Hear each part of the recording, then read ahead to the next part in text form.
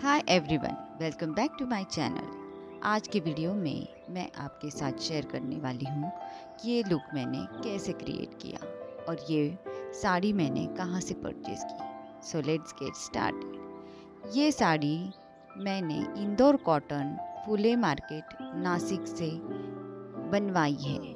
ये sari own designer है।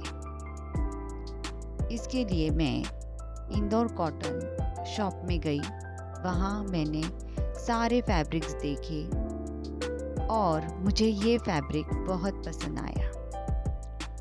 तो मैंने साड़ी के लिए जितना फैब्रिक लगता है, उतना मैंने कट करवा लिया। उसके बाद मैंने सीक्वेंस का ब्लाउज फैब्रिक चूज़ किया। देन मैंने ब्लाउज स्टिच करके मुझे ये साड़ी 1500 में पूरी बनकर तैयार हो गई।